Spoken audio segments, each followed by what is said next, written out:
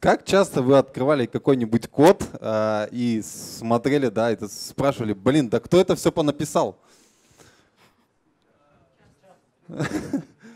А, да, бывает такое часто. Я и сам иногда открывал свои проекты и понимал, что, блин, это я написал, тут надо все удалить и все переписать.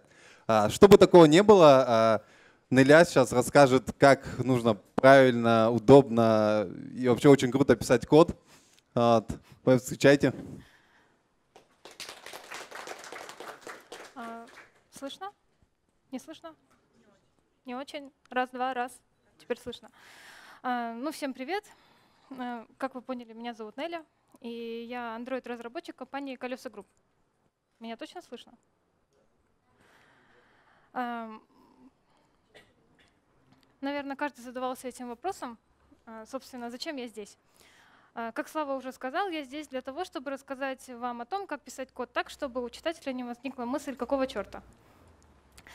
Вот. И для тех, кто в танке, это фраза, взятая из книги Роберта Мартина, э, в которой он дал определение чистому коду. Сказал он вот что. «Э, единственная адекватная мера качества кода — это количество восклицаний какого черта в минуту. Ну, то есть вот так вот. Вот. А теперь давайте перейдем к докладу и определимся все-таки, для кого он. Э, ну, в основном он, конечно, будет для новичков или просто для тех, кто недоволен своим кодом. Но, сеньоры помидоры, не расстраивайтесь. А, я думаю, повторение мать учения. И, возможно, некоторые моменты для вас покажутся довольно такие а, простые и понятные, но, как показывает практика, почему-то никто не придерживается этим правилам. Вот. Потом, на чем основан этот доклад? Ну, как вы уже поняли, он основан на книге Роберта Мартина «Чистый код». Кто-нибудь ее читал? Можете руки поднять? Ну, кто читал, тот молодец. Кто не читал, то сейчас мы пройдем такой коротенький экспресс-курс. А, далее она будет основана, доклад будет основан на книге Мартина Фаулера «Рефакторинг». Ее кто-нибудь читал? Вообще знаете, кто такой Мартин Фаулер? Нет? Вот, да, сейчас знаете. Так, ну и на моем личном опыте, потому что я работаю в команде, и опыт как бы чтения чужого кода у меня какой-никакой есть. Вот. А, собственно, зачем это все? А, код — это то, с чем мы работаем ежедневно, это наш творческий продукт, и то, что мы, в общем, пишем каждый день, и зачастую мы уже пишем это не одни в команде, и часто уже не с нуля. Поэтому очень много времени приходится именно убивать на то, чтобы читать и понять чужой код, э, и далее его поддерживать. Вот. А когда у вас переменные названы 1, а 2, 3, то ну, с таким делом далеко не пойдешь. А, вот, поэтому главная мысль всего этого доклада «Зачем он?» — это поддержка. Поддержка уже существующей кодовой базы, скорость внедрения новых фич, там, скорость э, поддержки уже старых, там, уменьшение количества багов и так далее. Э, потому что случаев, когда программистам заказывают сразу уже крупный проект без необходимости его дальнейшей поддержки, их, согласитесь, довольно мало. Вот, и чтобы ну, как бы многие программисты, они читают код чаще, чем пишут свой. Например, у нас такое иногда случается. И мне очень нравится фраза Мартина Фаулера. Он сказал, что любой дурак может написать код, понятный компьютеру, хороший программист пишет код, понятный человеку. Потому что, как ни крути, через полгода, если взглянуть на свой код, то уже трудно вспомнить, что мы там сделали. Вот, кому-то нужно и менее полугода, кому-то нужно неделя или даже день, чтобы напрочь вообще забыть, что там творится. Поэтому, чтобы ни мы, ни другие не смотрели на этот код как баран на новые ворота, нужно следить за тем, как мы его пишем, и делать его более удобно читаемым. Вот. И перед тем, как перейти к самому докладу, чтобы вы не побежали рефакторить весь свой код, а, я бы хотела упомянуть про одной главной детали. Это, это задачи. А, как известно, задачи у нас бывают э, решенные и нерешенные. А, если у меня стоит срок на задачу неделя, я ее сделала за один день, то я молодец, я суперпрограммист. Если я сделала ее за неделю, то я тоже молодец. А если прошел месяц, я до сих пор там сижу, пыхчу насчет архитектуры, хочу сделать это все расширяемо и красиво, но до сих пор ничего не сделала, то, увы, я плохой программист. А, потому что, как ни крути, задача должна быть решена, и это даже не обсуждается. То, что без работы никто не хочет остаться. Просто главное не забывать про тот момент, то, что к такому коду можно всегда вернуться и это дело переписать. А если у вас каждый день на работе аврал и у вас нет времени, то вам нужно подумать о том, чтобы научиться продавать задачи рефакторинга своему менеджеру. И как бы рассказывать о том, как это делать, я не буду. Как бы уже написано очень много статей и так далее. Поэтому давайте... Так, извините, я забыла вот это, чтобы вы не побежали переписывать. Все. Вот. Теперь все-таки давайте представим такую ситуацию, что у нас есть свободное время или там менеджер дал добро на рефакторинг. Как бы с чего начать? А, первое, с чего, я думаю, нужно начать, это, наверное, самое банальное и самое главное, это имена. А, имена должны быть самодокументированными. То есть э, имя переменных, классов, методов, пакетов, без разницы чего, они должны быть самодокументированными. Э, любой программист, прочитавший название метода или переменной, должен сразу понять, что он делает. Э, если там, название вашего метода требует комментария, это значит, что оно не передает намерение программиста. Бывает код, я не скажу, что он прям сложный, но из-за отсутствия содержательных имен он становится не такой очевидный, каким бы он мог быть. Как бы код, он должен читаться сверху вниз, строка за строкой, как поэма, чтобы мы не зависали на каждой строчке по минуте, пытаясь врубиться, что там происходит. Всегда можно дать переменным и методам нормальные имена. Если у вас стоит какая-то сложная проверка, то Э, даже, ладно, несложная, пусть будет непонятная, ее можно всегда вынести в отдельный метод и дать этому методу человеческое имя. Если же вы не хотите заводить отдельные методы, то можно завести константы и тоже дать им удобочитаемые имена. Э, мне лично в придумывании названий хорошо помогает код-ревью. У меня, если честно, с этим вообще все плохо, и в любом моем pull-реквесте будет комментарий, чтобы я что-то переименовала. Вот поэтому код-ревью в этом хорошо помогает, потому что когда я пишу код, я нахожусь в контексте этой задачи. И как бы для меня все ясно и понятно. А люди, которые со свежим взглядом смотрят на него, они сразу тычут в эти места. Поэтому если вас просят переименовать, то не противьтесь и просто переименуйте. Со стороны людям виднее обычно. Вот. И еще насчет имен. А, длинное имя, оно всегда лучше не задокументированного. То есть вместо вот этого лучше использовать вот это. Так, с названиями более-менее определились, давайте пойдем дальше. А, названия не должны врать. А, никакой комментарий не поможет, если название метода противоречит тому, что он делает. Здесь у нас мало того, что наша мапа почему-то называется листом, так помимо обработки ошибки мы еще почему-то юзера удаляем и там, из базы. Как бы э, Любой разработчик может вызвать этот метод, не подозревая о том, что этот метод что-то делает у себя под капотом, и тем самым у нас могут возникнуть сайд-эффекты. О них я еще поговорю чуть позже. То есть, во-первых, нам нужно отсюда выпилить все, что не касается обработки ошибки. Во-вторых, э, ну, если это мапа, все-таки назовите ее мапой. Если вам нужен лист, то передайте туда лист. Итого, давайте никого не будем обманывать у себя в методах и создавать какие-то непонятные ситуации. Далее, имена должны быть удобны для поиска. Я сама с этим недавно столкнулась, с этой проблемой. Я делала фичу по добавлению фотографий из галереи с камеры, и в одном месте я использовала слово «фото», в другом месте я использовала слово «image». И в итоге, когда это дело у меня разрослось до больших размеров, я стала путаться, где у меня что. Ну, к примеру, я стала искать какой-нибудь имидж фотокомпрессора, у меня такого нет, у меня имидж компрессор. Как бы это неудобно и неправильно. А, всегда нужно использовать на одну концепцию одно слово. То есть либо я буду использовать фото, либо я буду использовать имидж. Но здесь тоже такая палка двух концов. Если все время добавлять одно, а, одно слово в название, то может получиться вот примерно вот такое, что на одно слово у нас просто дофига куча всяких классов, и найти среди этого то, что нам надо, просто ну, очень сложно. А, насчет имен. А, однобуквенные переменные, они просто ужасны в поиске, и, пожалуйста, не используйте их, особенно если они у вас глобальные. Просто боль. Поэтому Значит, одно слово, одна концепция. А, нужно хорошо продумывать название классов и так далее, и не использовать однобуквенные глобальные переменные. Так, пойдем дальше. Как же мы даем имена классам? А, ну, есть такое правило, что классы — это у нас обязательно существительные или их комбинации. То есть, например, вот а, адрес парсер или, или user info, но дядя Боб советует не использовать в названии классов такие слова как info, data, менеджер, там, хендлер и так далее, потому что они несут никакой смысловой нагрузки. И если у вас есть какой-то user info, это примерно грозит тому, что этот класс может у вас разрастись до больших размеров, и там будет лежать просто куча всего. А, что в таких случаях лучше делать? Это, например, если в user info у нас лежала информация об адресе пользователя, то лучше вынести прямо в отдельный класс адрес и хранить уже путем там, композиции внутри юзера. Вот. Ну а насчет методов, они у нас должны быть глаголами. Ну это тоже такое правило. Либо глаголы, либо глагольные словосочетания. Так, пойдем дальше. А, имена из пространства решения. А, не забываем, что наш код читают программисты, и если вы в ходе работы применили какой-то паттерн, декоратор, например, то впишите его в название, облегчите людям жизнь. А, можно, например, брать прям ключевые слова из UML-схемы. Если, например, пробежаться по декоратору, то здесь у меня видно, что у меня есть какой-то базовый компонент, есть конкретный компонент, а, есть базовый декоратор, есть конкретный декоратор.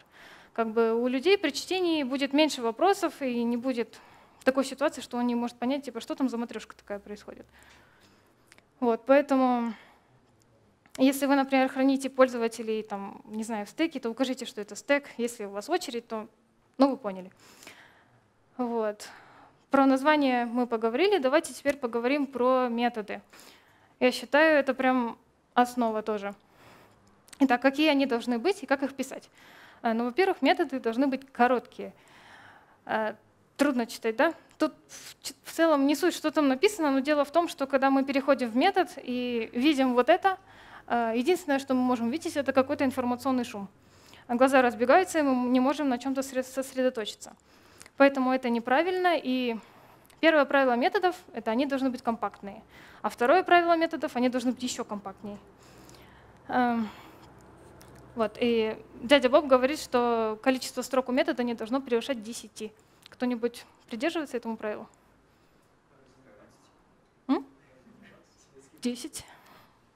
Ну ладно, у кого-нибудь есть еще какие-нибудь ограничения? Там, экран, например, у многих есть, особенно когда он еще вот так вот переворачивается. Другой вопрос. А как быть, когда количество методов... Вопросы лучше потом. В общем, методы должны быть короткие. Так, следующее — это всеми наш любимый принцип единой ответственности, который гласит, что класс должен иметь только одну обязанность, или же то, что класс должен иметь только одну причину для его изменений. Вот, если рассматривать этот принцип э, как бы для классов, то зачастую его сложно придерживаться, потому что понятие единой ответственности для класса оно может быть размыто. А вот в методах это всегда понятно. Поэтому этот принцип он может быть применим не только для классов, но и для методов.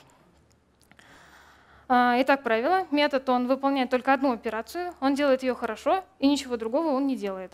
Есть такие маркеры, которые позволяют э, определить, что с вашим методом что-то не так. Вот, первый маркер — это отступы. И здесь я имею в виду именно логические отступы. Тут, судя по примеру, у нас их три. И это означает, что этот метод можно поделить еще как минимум на три отдельных метода. Вот. А следующий маркер — это если у вас в названии метода присутствуют такие названия, как end или if. Вот, это неправильно. Метод, он должен делать что-то одно. То есть либо мы сначала мы, точнее, проверяем, что нужно ли обновлять данные, а следующий метод у нас будет обновлять. А, например, нельзя там, удалять пользователей и сразу обновлять список. А вот такие методы лучше располовинивать.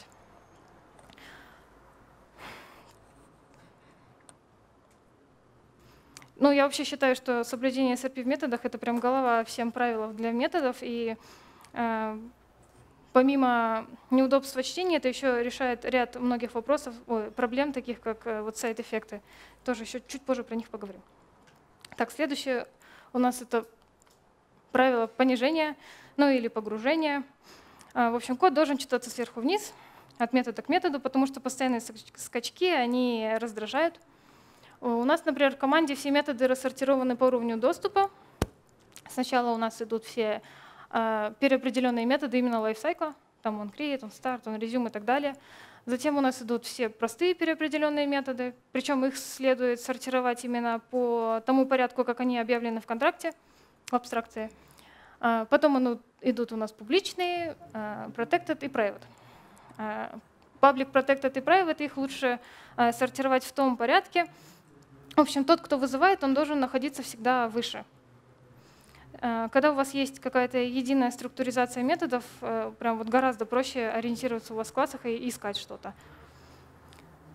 Так, давайте теперь поговорим об аргументах. А, дядя Боб говорит, что Дядя Боб говорит, что в идеальном случае количество аргументов у методов равно нулю. Такие методы еще называются нулярными методами. А, чем они хороши? Они хороши тем, что они все получаются из своего контекста, и как бы пояснения, они, пояснений к ним не нужно. Как бы тот же getter. Идеальный метод, для которого не нужно ни одного комментария. А, далее у нас идут унарные методы. Это методы с одним аргументом. А, тоже замечательные методы. Есть у нас некий метод getUser, который принимает ID, ну и, собственно, вопросов у нас тоже нету. А, далее у нас бинарный метод. Ну, тоже нормально считается. Два аргумента. А вот методов уже с тремя аргументами, их следует избегать. Их еще называют тернарными. И то я привела довольно такой логичный пример. Э, по трем аргументам у нас вернется там какой-то пользователь. Но случаи бывают разные. Например, у нас среди одного аргумента может оказаться флаг. А вот. И тут уже приходится залазить в метод и смотреть, что это за флаг, что делает этот метод, потому что, может, он нам не только юзера достает, но еще и спинку чешет. Поэтому э, от трех аргументов, ну, их лучше сокращать, такие методы. Далее у нас идут полиарные методы. Ну, это методы, у кого количество аргументов больше трех. Их лучше не использовать. Как бы чем плохи такие методы?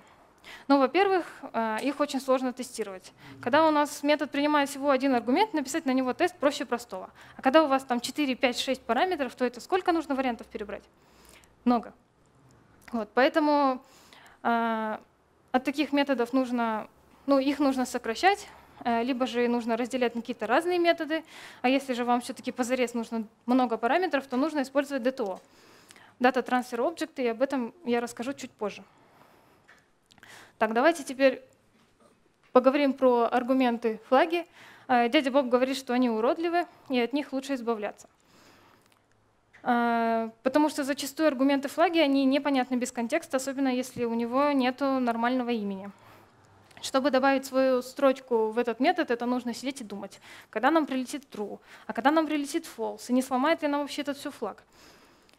А, привычка пользоваться аргументами и флагами, а, она всегда усложняет сигнатуру метода и как бы громко заявляет, что этот метод делает больше одной операции. Он делает что-то при а, истинном значении и при ложном. Когда мы читаем код и видим метод delete true, он как бы сбивает с толка читателя. Это, ну, если, конечно, взглянуть на сигнатуру метода, то можно примерно понять, зачем этот флаг нужен.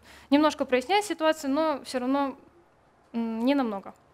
Как бы так лучше не стоит делать, и в этом случае лучше метод delete разбить на два. То есть э, простой delete и delete для конкретной ситуации. Э, так при чтении будет как бы меньше вопросов. Вот, особенно неудобно, когда у вас есть флаги, это когда вы ревьюете чужой код, потому что, например, когда я читаю чей-то код в стэше, то у меня не всегда есть возможность быстро перейти к методу и посмотреть, что там за параметры. Вот, поэтому от аргументов флагов лучше избавляться. Я, конечно, не говорю, что прям полностью все берем, все выпиливаем, иногда они нужны, но их нужно сокращать. Так, а теперь давайте поговорим про DTO. Это все-таки, если вдруг нам нужно использовать более трех параметров – что мы делаем? А, мы все берем все наши аргументы, мы складываем их в один объект и заменяем все эти параметры одним объектом. А, это нам позволит каждый раз не переписывать всю эту колбасу из параметров, потому что иногда нам нужно поменять где-то, и это нужно пробегаться по всем местам и изменять. Потому что зачастую, ну, некоторые методы, они могут проходить через э, всю нашу программу. Там я через Activity перехожу во ViewModel, потом в UseCase, потом репозиторий, потом Data Source, потом мне это надо все обратно пропихнуть. Вот, поэтому если в одном месте мне нужно будет поменять какой-то параметр, это мне нужно бегать везде и изменять. Вот. DTO э, в этом плане э, нам облегчает это дело, но он не решает проблемы с тестированием, и все варианты нам так и так придется перебирать. Так, дальше. Опс, спойлер. Далее это аргументы как результат. Э, передавать аргументы как результат метода — это плохая идея. И для того, чтобы показать всю трагичность этого пункта, я вот нашла три картиночки. Вот это раз, Это два. Ну и это три. Как вы уже, наверное, догадались, это сайд-эффекты, которые могут возникнуть. А, если я в метод передаю лист, потом как-то его модифицирую и возвращаю его, то у меня могут возникнуть сайд-эффекты, потому что пользователь, ой, программист, он, возможно, не подозревал то, что у нашего списка может измениться его контент. А, и тем самым мы сами себе выстреливаем в ногу. Вот, это неправильно. И кто еще не знает, эта проблема является антипаттерном, который называется орги объектов. И в одном из метапов мы рассказывали про антипаттерны. Если кому интересно, можете посмотреть. Вот, в итоге, ожидая одно поведение, мы можем получить кучку багов. Как бы, чтобы такого не было, нужно, чтобы э, ваш метод всегда э, возвращал новое значение. Э, я не знаю, как у вас, но когда, например, я только начинала работать с лист-адаптером, с его готовой штукой для вычисления diff то у меня очень часто была некорректная работа списков, потому что э, я передавала, опс, я передавала тот же самый объект по ссылке, и в итоге прямо в начале метода я просто вываливалась, у меня ничего не обновлялось. Поэтому, чтобы таких ситуаций не было, всегда возвращайте новый объект. И вот один из способов для борьбы с сайд-эффектами — это придерживаться Command Query Separation. То есть, как мы уже поняли, методы они имеют побочные эффекты, они меняют систему и начинают сеять хаос. Вот. Чтобы такого нет, не было, э, нужно делить все свои методы на uh, query методы. Они у нас будут uh, возвращать какое-то значение или систему, но ничего не менять.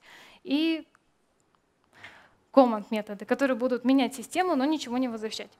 Тем самым вы будете уверены, что у вас не будут сайд-эффектов, потому что когда у нас возникают какие-то баги, мы в самый последний момент э, идем искать причину этого бага в. Э, у меня бывали такие случаи, был очень такой сложный класс с большой связанностью, и я буквально вызывал один метод, у меня все ломалось. Как бы вот, чтобы такого не было, нужно придерживаться CQRS.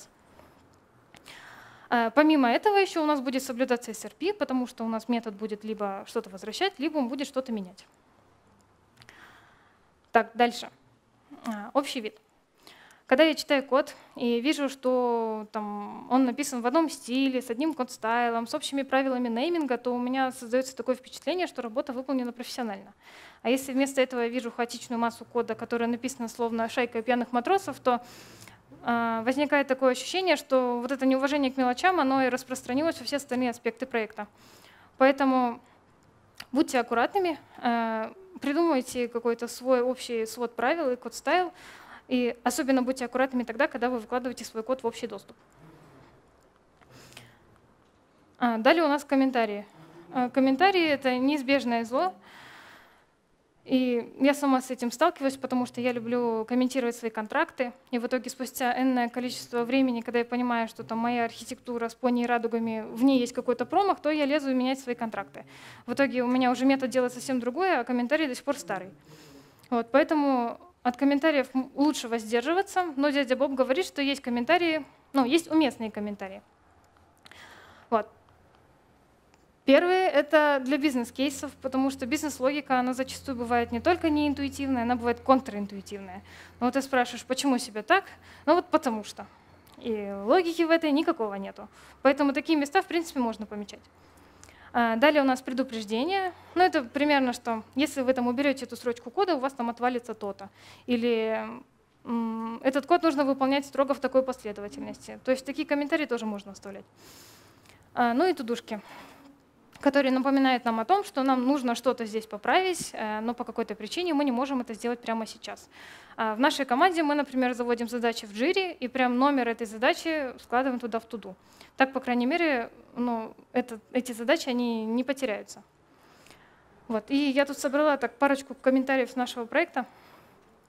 Я точно не знаю, что это бизнес-логика или просто пояснение, ну вот как-то так.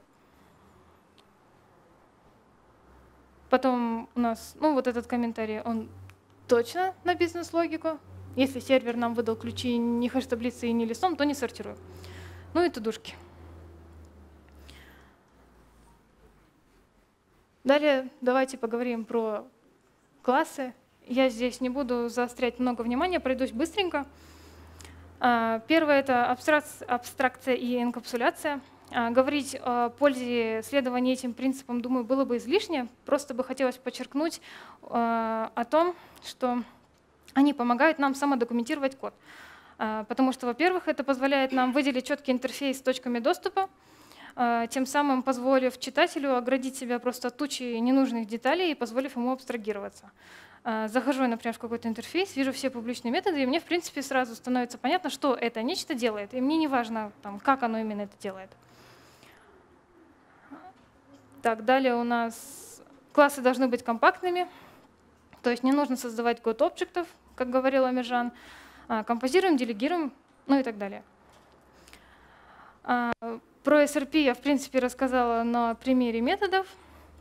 То есть класс он должен иметь только одну обязанность а, и изоляция изменений. Э, если вы в коде видите, что какая-то часть у вас очень часто меняется, то следует подумать о том, чтобы эту часть э, инкапсулировать, вынести ее куда-то отдельно. Вот, ну, это в целом была лишь малая часть, которая описана в этих двух книгах. Э, если брать, например, Мартина Фаулера, то у него там просто еще очень много разных принципов, именно практических принципов, как рефакторить ваш код. А если брать дядю Боба, то там еще есть такие главы, как обработка ошибок, тесты, э, многопоточность, кстати. Э, вот, поэтому, если вы еще не прочитали эти книжки, я советую вам прочитать. Вот. В рамках своего доклада я не успеваю все рассказать, поэтому давайте просто быстренько так пробежимся по всему тому, что я сказала, и подытожим. Итак, имена. А, содержательные, не врут, одна концепция, одно слово. Ну, еще существительные. А, методы. А, глаголы. А, метод делает только одно, делает хорошо, и ничего другого он не делает. А, стараемся не использовать более трех аргументов. Если же все-таки нужно использовать более трех, то пользуемся DTO. Уменьшание, уменьшаем количество использования аргументов флагов. Помним про побочные эффекты и пользуемся CQRS. Далее, общий вид. А, придумываем свод правил, там, создаем свой код стайл, экспортируем это все в файлик и радуемся жизни. А, комментарии. А, комментарии у нас для бизнес-кейсов, предупреждения, тудушки, и от остальных стараемся избавляться. Ну и классы. Если прям совсем-совсем этот пунктик подытожить, то нужно просто пользоваться УП и принципами программирования, проектирования, проектированиями, проектирования. В общем, знать такие слова, как solid, grasp, там, дрова и так далее, ну и другие вот эти страшные слова. Вот. Ну и в целом просто старайтесь писать код так, будто бы его читать будет маньяк, который знает, где вы живете. А, просто сейчас хотелось так немножко своих мыслей сказать. А, если начинать читать там разные статьи, книжки про то, как же все-таки писать чистый код, то везде пишут примерно одно и то же. Там, ООП, ТДД, там, паттерны, солид, рефакторинг. Как бы с этими пунктами все понятно, там все можно нагуглить и прочитать. А вот с рефакторингом мне не сразу стало все понятно, потому что как бы, ну я за этот код выстрадала дней, и почему я должна теперь это все переписывать? Вот, ну со временем э, мне это дело понравилось. Теперь мои любимые задачи — это рефакторинг, ну и новые фичи, конечно. Вот, поэтому если вы все-таки решитесь э, на то, чтобы порефакторить там, часть вашего кода или, возможно, целый функционал, то не расстраивайтесь, если после вашего рефакторинга вам потребуется рефакторинг версии 2. Как бы у меня такое происходит очень часто, э, потому что ну, невозможно все просчитать с самого начала — потому что мы что-то новое изучаем, находим какие-то более удобные решения для своей проблемы, и это в целом нормально. Как бы два рефактора для меня это нормально. Вот, поэтому читайте умные книжки, читайте статьи, посещайте конференции. А, Кен Бек как-то сказал, что я не великий программист, я просто хороший программист, а, я просто хороший программист с отличными привычками. Так вот, будьте как Кен Бек и развивайте у себя хорошие привычки. Спасибо, Надя, за доклад.